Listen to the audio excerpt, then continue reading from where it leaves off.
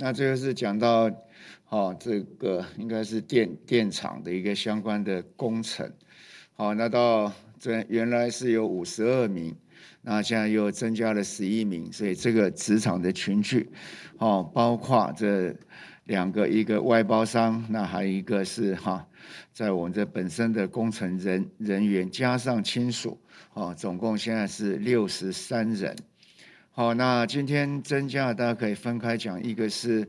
外包商的老板跟员工，哈，二二九四八二二九四九，那跟他自己的，哎，就是同住的家人，二三零二五二三零二六，然后另外是二二九五四是一位司机，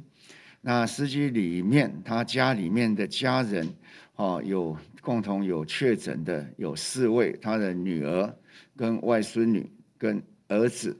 那还有儿子儿子的女儿吗？还是女儿？好，这里面大概就二二九五五、二二九五六、二二哎二三零二七、二三零二八。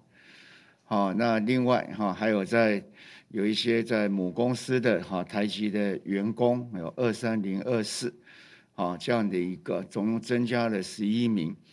那整体在这个虽然它整体范围它有大个三大工区了哈，那这个工区人比较少，大概是外籍一共有五十六位。那第二个工区比较大，大概外籍一共有七百多位。那另外比较小，有二十几位。